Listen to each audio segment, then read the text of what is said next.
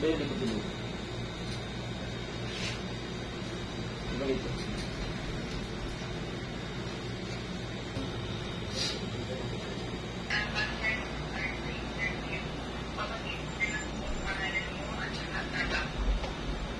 Ako nga po pala si Sherwin Lapating Ladrido na nagtrabaho ako ng salon. Ako po ang may-ari ng Sherwin Ladrido Salon dito sa Tika Homes Mental, Davao City.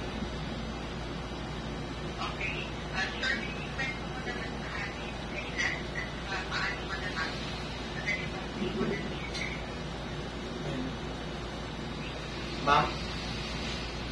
Okay, ulit ma'am.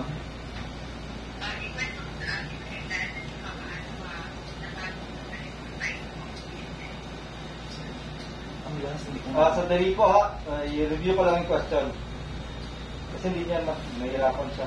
Okay, ito po. Ikwento niyo naman po sa amin kailan at paano ka napasok sa ganitong type of business. Sige, dito ang tingin sir ha. Okay. Ready? Nagsimula po ako sa business ko nung nung nagtatrabaho ako dito sa ano sa Davao City. Ah, dinala ako ng ex ko dito sa Davao City. Then Sir, sir, sandali po. Dito po. Dito ang tingin. Paayos lang po ng ano. Ayan. okay, ulit ang ano Dito po sir ha. Huwag ka rin sumandal sir. Huwag kang mag... Lean lang. Ayan, okay. Dito sir ha. Okay, ready? Pakiulit to Oh, sir. okay, ulitin niyo po, paano kayo nagsimula? Yeah. Okay, ikwento niyo naman po sa amin kailan at paano ka napasok sa ganitong type of business. Nung nagsimula nagsimula ako noon sa pag-business, ah naranasan ko na ang pag ah, pagtrabaho ng mga salon-salon dito sa Davao City. Then may nakilala akong friend, na- may nakilala ako isang ah, lalaki na nagdala dito sa Davao. Then dinala ako dito sa Davao. Um, nagsimula ako dito, then nangamuhan ako dito, then napasukan ako ng ano, um, Sige, sige sir. O, ulitin niyo. So, paano kayo nag-start talaga sir? Paano kayo nag-start? Paano kayo nag-start sa ganitong business? Ano yung ginawa niyo before na nag-start kayo sa ganitong klaseng business? Ah, nag-start ako ng business ko before, ah, nangamuhan ako dito sa Davao, then nag-home, nag-home service po ako dito sa Davao at kaila, ah, kasi ang sabi ko sa sarili ko kasi na before birthday ko kasi na sana ah, bigyan ako ni Lord ng sariling salon kasi pangarap ko kasi since birth ko pa kasi na pangarap ko talaga mag magkaroon ng sariling salon. Pinilit ko ang sarili ko na na mag pinilit ko yung sarili ko na na makapag-ipon ng pera para makapagpatayo ako ng sarili kong salon. Ah, hindi ko in-expect binigay pala yung before birthday ko. Ah, October 16, 2016, at doon na nakapag-ipon ako ng 30,000 at yun po ang 30,000 um, ginawa ko po, nirolling ko po yung 30,000 na para pang business. Then nakilala, nakita ko din yung pwesto na ito. Then nag-down ako ng pera, doon na po nagsimula na na nagkaroon ako ng sarili kong salon kahit nagsimula ako sa isang upuan at isang upuan at isang upuan na kawayan. Yun po ang ginamit ko dito sa salon ko at napapasalamat din ako sa mga friends ko na tinulungan nila ako at, at nagsisimula din po ako sa maliit na mga medisina sa salon, yung tatlo, tatlong gamot lang po ginamit ko kasi takot po ako na mag-business kasi 20 years old pa lang po ako, nag-start na po ako doon sa salon ko.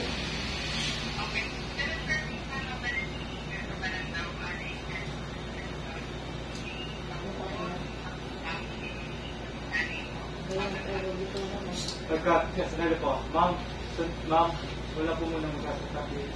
Thank you. Uh, sige sir, paulit sir ha, dito ha.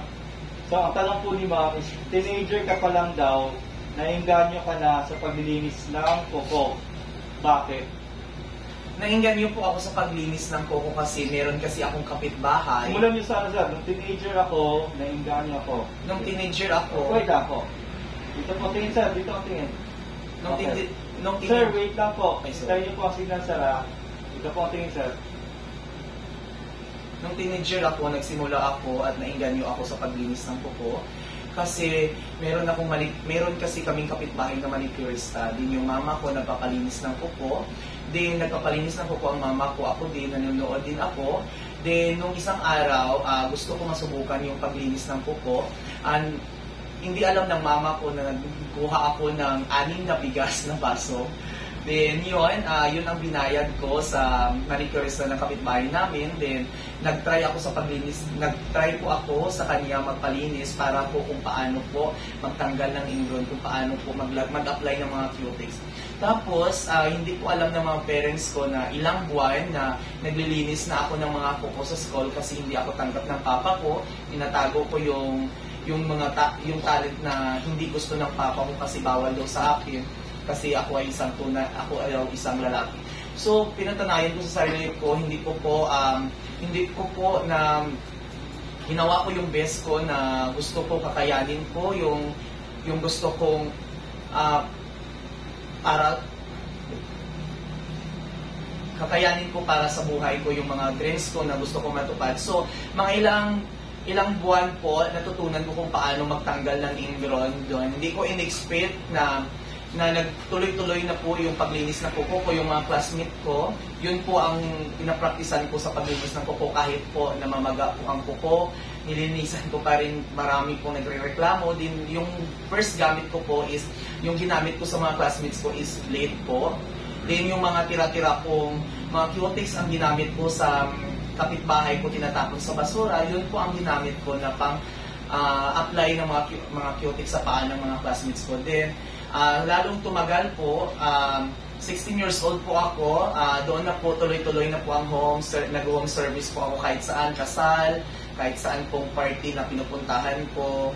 Then, ayun po, ah, nag-aaral din po ako ng high school, yun po ang kinikitaan ko every ah, Sabado, Domingo, yun po ang yung free time ko na para makakita ako ng pera.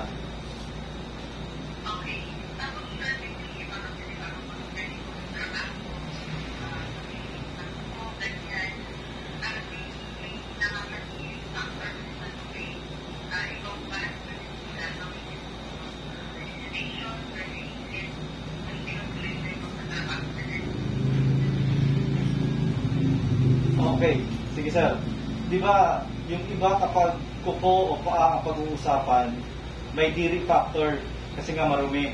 Okay? So, ikaw, wala ka bang ganitong reaction kahit nung nagsisimula ka pa lang? Hindi ka ba nandidiri o hindi ka naruminan sa ginagawa mo? sa, sa pagtrabaho po, sa pagtanggal po ng indoor, hindi po ako nanindiri kasi dyan po, dyan po ako nagsimula, dyan po ako nabuhay, dyan ko po nakilala ang sarili ko kung sino ako. Kahit ano man ang sabihin ng mga tao na na mabaho daw ang paa, bakit daw hindi daw po bagay sa akin kasi ganyan daw, kasi marumi daw ang mga kuko. So, pinilit ko ang sarili ko kahit mabaho yung... Ah, sige po, tuloy mo. Oh, paulit po ha. Okay. Pinilit ko po ang sarili... No, ulitin niyo po doon sana sir, sa Sa- simula. Sagot niyo, okay. Bakit, ah, okay. Sa, so, yung iba, ah, kapag kuko ang pinag-uusapan, may diri factor. So, narurumihan sila. Ikaw pa, wala ka bang ganitong reaction nung nagsimula ka sa trabaho na to? um, hin- hindi po ako nanindiri sa ano sa pagtanggal ng ingron kasi diyan po ako nagsisimula sa pagtanggal ng ingron. Bata pa po ako, naranasan ko na po yung mga pagkalkal ng mga ingron, yung mga putik, merong mga dugo-dugo at mga nana. Hindi po ako nanindiri kasi meron po akong pangarap sa buhay. Gusto ko po matupad ko yung pangarap ko na magkaroon ako ng sarili kong salon, magkaroon ako ng sarili kong bahay. Kahit mabaho po ang kuko, pinilit po ang sarili ko na magkaroon ako ng sarili kong pangarap sa buhay kasi kasi hindi kasi ako tanggap ng papa ko.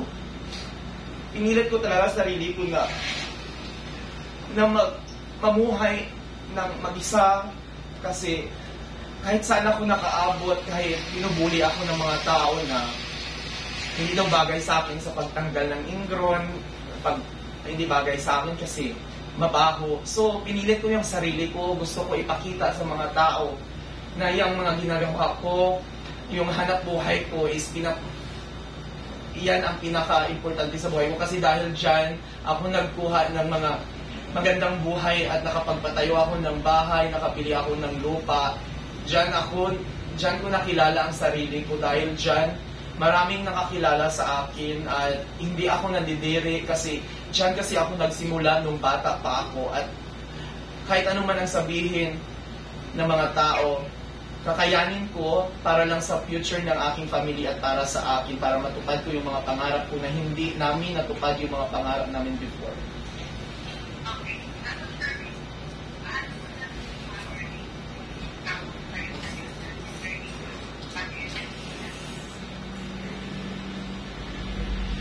Sir? So paano mo nakuha o naisip yung tawag sa'yo na Mr. Ingrown? Paano ba yung nagsimula? Nagsimula kasi ako noon, ah, nung naghiwalay kami ng ex ko, then nag-try ako nag-upload ng ng video sa sa TikTok, din sobrang stress ko kasi wala akong kausap, parang ma- parang mabaliw na ako.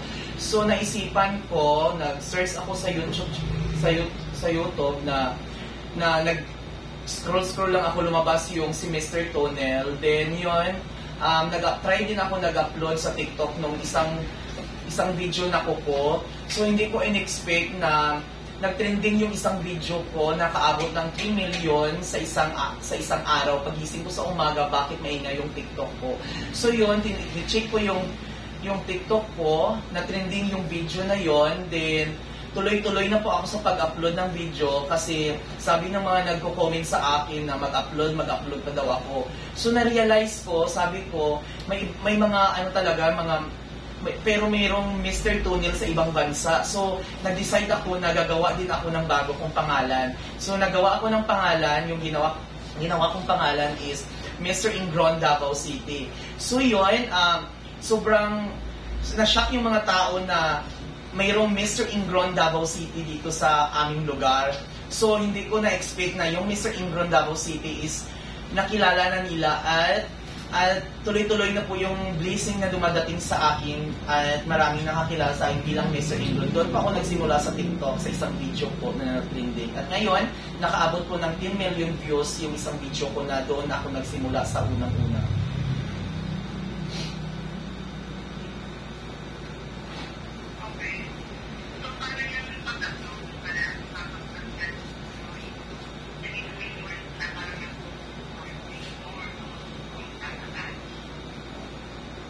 Pa, mga paulit po, hindi po masyadong... Paulit. Ay, ma-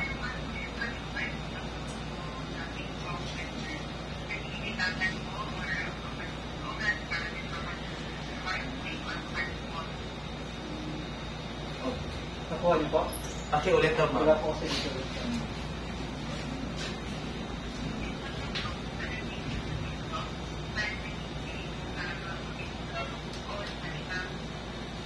Hmm, okay, yung pag-upload mo ba ng TikTok, yun ba yung way para mabilis yung on mo? Okay, wait lang ha. Okay ha. Okay lang. Yes.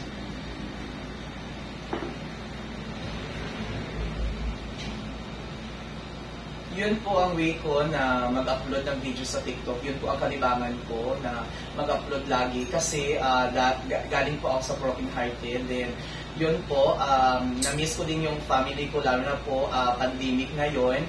Um, sobrang stress-stress ko talaga kasi lockdown po dito sa Davao before. So, na, sabay po yung yung problema ko. Then, yun po, uh, always na po ako nag-upload ng mga video. Then, sobrang makawala po ng stress kasi maraming positive comment po na marinig ko sa mga nagko-comment sa sa TikTok ko. Then, yun, um, nainganyo po ako na tuloy-tuloy na po yung pag-upload ko sa sa, sa TikTok ko, din sa YouTube ko.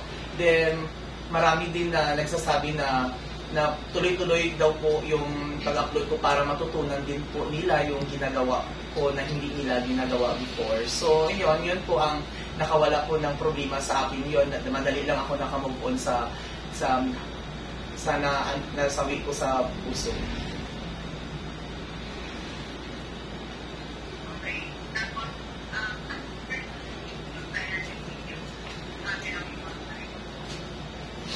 Tama, paulit-ulit.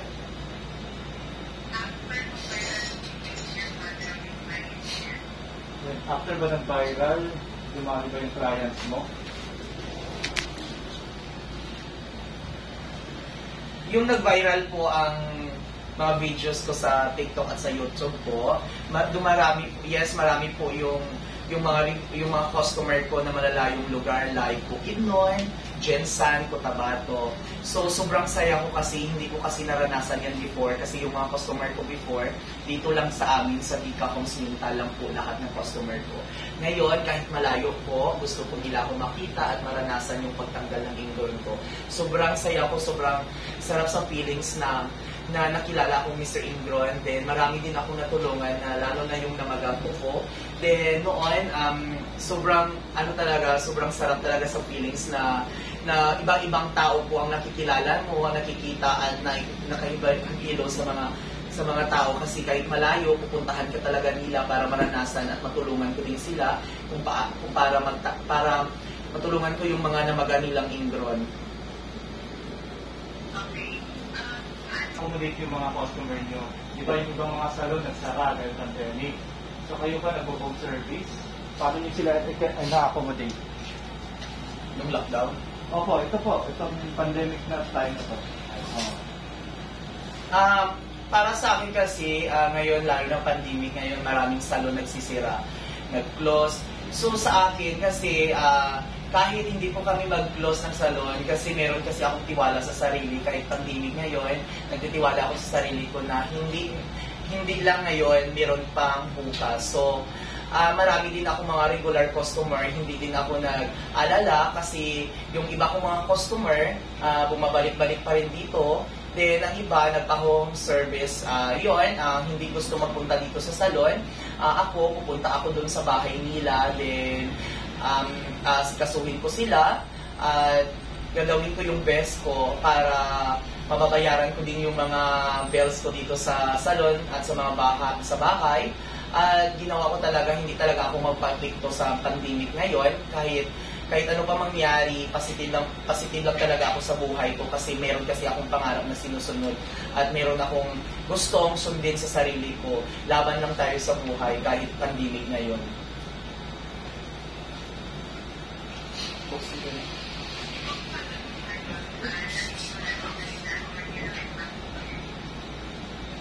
Ah, sorry pa ulit po.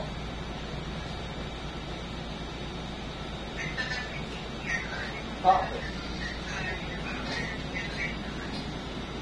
ah, okay. Itong salon na ito, sir, itong salon na ito, sa'yo na ito o namamasukan o nag-renta ka lang dito?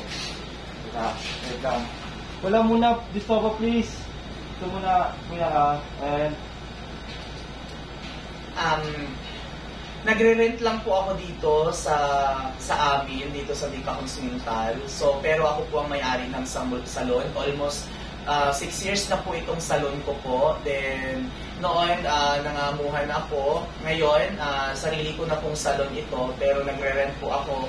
Ngayon, may plano po ako na nabibili ng lupa para magkaroon para sa akin na po yung pwesto na yon.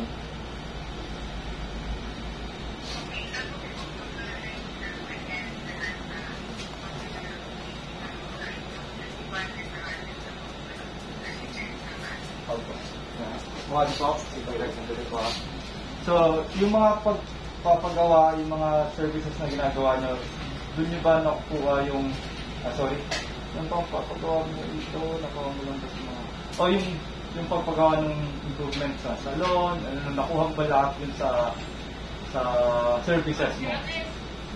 Ay,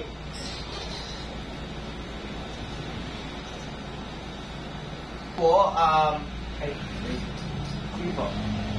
Yung lahat po napundar ko po sa sarili ko at sa bahay ko, galing po dito sa salon ko kasi nag-start po ako 2015, walang wala po ako. So, pinilit ko ang sarili ko na lahat ng gusto ko, mabili ko.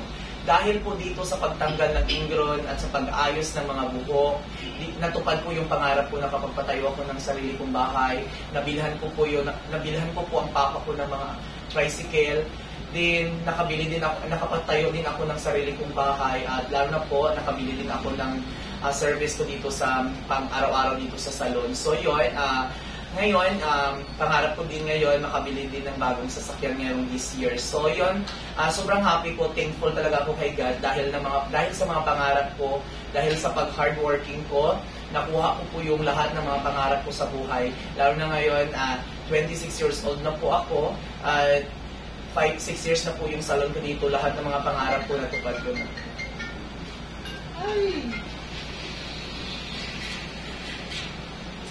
Kuya, yes, opo. Ah, ito pa ulit po namin. At sige po. Ah, sorry, sorry. An- ano, ano po yun, ma'am?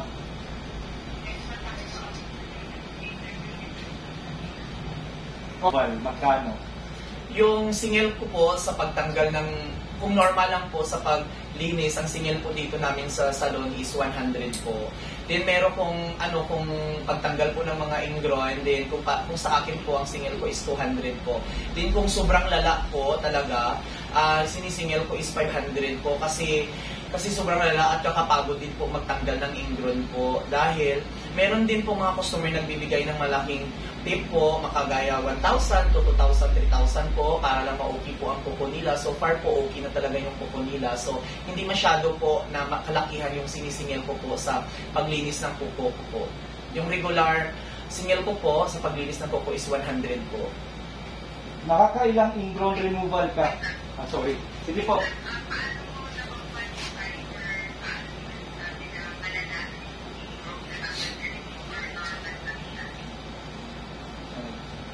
Paano mo nakakwalify na malala yung isang ingrown ano, yung kuko, yung ano, pagtanggal? bago bago kasi sila pumupunta dito sa salon, ah nagsisend po sila ng picture sa page ko. Then bago ko po sila papuntahin dito sa salon ko, ayan, ah i-check ko muna. Then yon ah kailangan ah, bago ko i-ayusin yung kuko nila, kailangan ah ah, kailangan um, lalagyan pa natin ng ano ng mga betadine. Then yun makikita ko din kasi na yung sobrang maga ang kuko so kailangan talaga tatanggalin yung mga kukong na mabaga.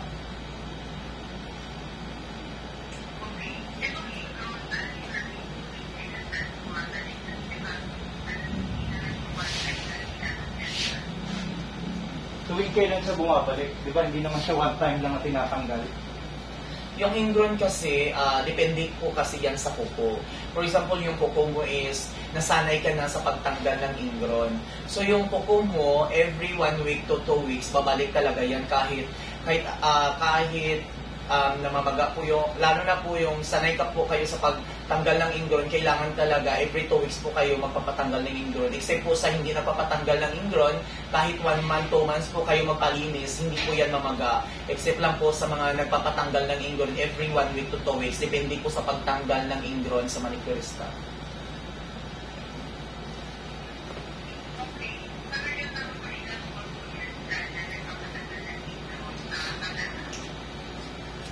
Nakakailang customers ka na magpatanggal ng ingrown kada araw? Ah, depende po, ah, lalo na ngayon pandemic po. So, minsan maka ano po ako kung may lalo weekend po, makasampo po kami, 20 to 15 po yung pagtanggal ng ingron. So, may, kung ano po, kung hindi po weekend, makalinis po kami ng kuko sa isang araw is lima, ganun po. So, ang kadalasan po sa, sa malayong lugar po yung pag, pag yung maraming magpapatanggal ng ingron dito po sa amin.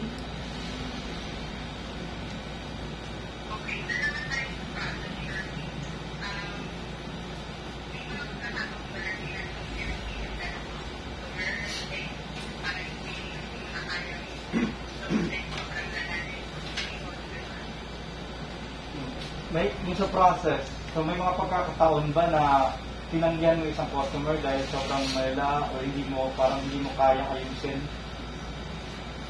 Ah, nung nakilala po akong Mr. Ingron Davao City po, wala po ako nakatry na tinanggihan ko yung customer na lalong sobrang maga-maga po ang pukon ng customer. Kasi naawa din po kasi ako sa customer na na pinipilit nila ako na kailangan na tatanggalin ko yung ingron nila kasi alam nyo naman na sobrang mahal kasi sa doctors sa doktor. So, pinilit ko ang sarili ko na okay, kakayanin ko ito kasi ito ang ang ginagawa ko palagi. So, pinilit ko ang sarili ko na hindi ako matakot at kailangan ah, hindi ko tatanggihan yung customer na nangangailangan ng ng tulong ko at sinasabihan ko din po sila na baka po baka may diabetic po kayo so sinasabi din nila na wala po silang diabetic so basta magsabi po sila ng totoo na hindi po diabetic ah tutulungan ko po sila na maging okay po ang kuko nila. Pero kung diabetic po, at tinatanggihan ko din po. Pero so far po, hindi pa po ako nakaranas na tinanggihan ko po yung mga customers ko, lalo na yung malayong lugar po.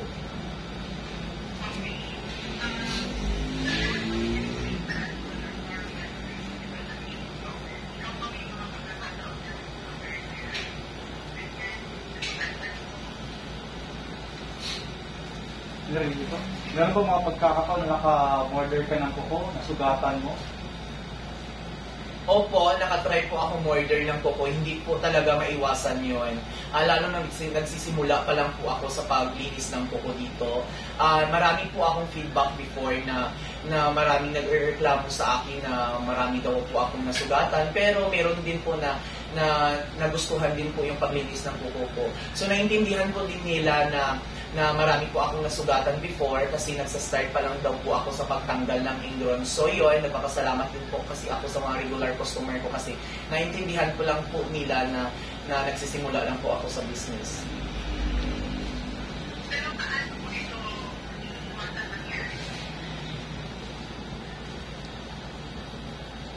So ini iniwasan ko po para hindi po mangyari po yon, dinadaan-daan ko po sa paglinis ng cookie. Mabilis po ako sa pagtanggal ng ingron lalo na ngayon, ah, nakilala ko sa ingron Davao City.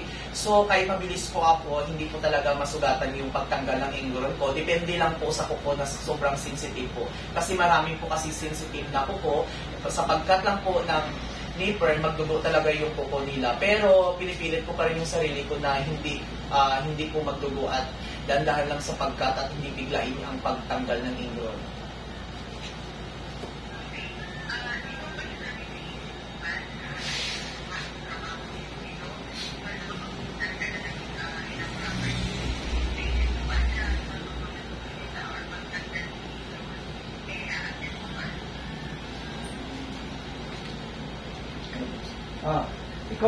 Di ba nakapagpundar ka ng mga ari-arian? Di ba po? So, naisip mo ba noon na ah, sa trabaho ito, makakapagpundar ka in the future ng mga, ano, mga ari-arian? Ah, hindi ko po in-expect na nakapundar po ako ng mga ng mga ari-arian ko, yung like lupa, bahay, makabili ng mga service ko dito sa salon.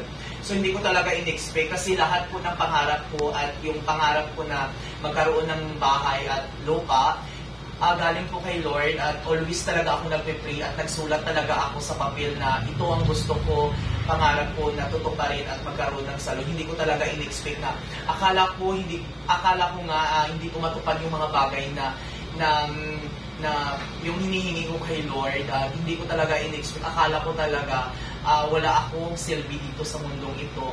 Yun, at always lang talaga ako nag-pray na gusto ko talaga na kahit ganito ang trabaho ko, kailangan talaga tutuparin ko yung pangarap ko at hindi ko talaga na-expect na natupad ko talaga yung pangarap ko na na magkaroon ng bahay at lupa at mabigay ko yung kaligayahan ng mga papa at mama ko.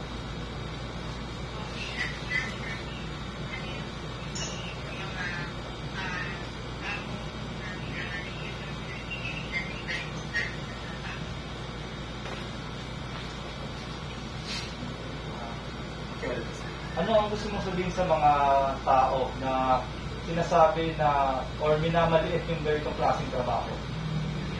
Sa mga nag, nag, nag ay, sa mga nagmamaliit po sa Uli po. sa mga nagmamaliit po sa trabaho na trabaho po at trabaho namin. Ah, sana ah, Ay, sorry, sorry. Limit yung record. Sa ko po ha. Wala. Okay lang po. Okay. pakiulit daw yung tanong, Oh. Ano yung gusto yung sabihin sa mga taong minamaliit yung ganitong klaseng trabaho? Sa mga Wait lang po. Sorry. Ang sasabihin ko lang po sa mga taong nagmamaliit po sa aming trabaho, lalo na po sa akin kasi naranasan ko po yung pagbubuli at yung mga taong nagsasabi sa akin na wala ako magawa sa buhay, lalo na doon, habang buhay lang daw po ako nagmamaliit, naglilinis na po po, wala po akong future. So ang sasabihin ko lang po, sobrang laki ang tulong ng paglilinis ng kuko dahil sa paglinis ng kuko, diyan ko po nakilala ang sarili ko at nabuhay ako at nabigyan ng magandang buhay ang papa at mama ko, yung mga pamangkin ko at mga kapatid ko. Dahil hindi po kayo basta-basta mag-underestimate po sa isang tao, lalo na, lo- lalo na kagaya ko sa paglinis ng kuko dahil sa paglinis ng kuko, dito ko talaga nakuha ang mga pangarap ko. Ah, kailangan talaga ah, magpakatotoo tayo sa sarili natin, huwag tayo maghusga kung sino ka. Bago tayo maghusga, ah, tingnan nyo muna yung sarili natin bago tayo manghusga sa isang tao at laban lang tayo sa buhay at magpakatotoo tayo kung sino tayo. Okay na po. Okay po. Okay po. Okay, thank you. Thank you, ma'am.